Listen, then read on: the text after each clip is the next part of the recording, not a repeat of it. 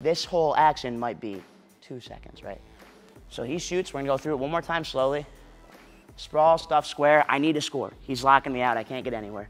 Knee to knee, knee him in the chest, post on his knee, right? I'm gonna pull his hip over a little bit, land on my elbow. This land on your elbow is really, really important here. Elbow to my knee there. Let his head come out.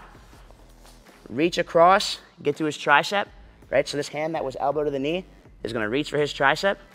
I'm gonna slide my bottom knee out.